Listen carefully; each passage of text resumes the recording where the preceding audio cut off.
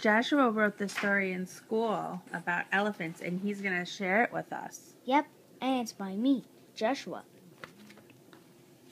This is the story of Sheba and her baby. Sheba and her baby live in Africa on the hot, dry savannah. They walk through the tall, dry grass. Sheba was a brave, nice, big elephant. She was brave because she hid her baby from the lions. Her baby was a funny was as funny as a clown. The lions were eating the elephants.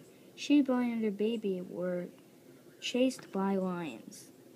She scared the lions away with her trunk and tusks.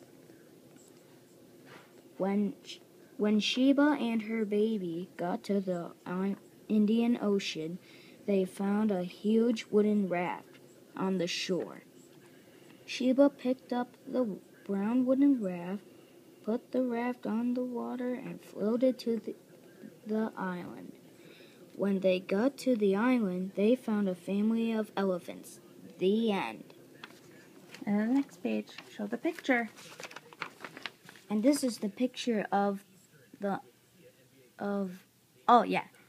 This is the picture of of the elephant running away from the lions. It's a very good picture, Bud. Okay, what do you say when you're all done reading story? The end.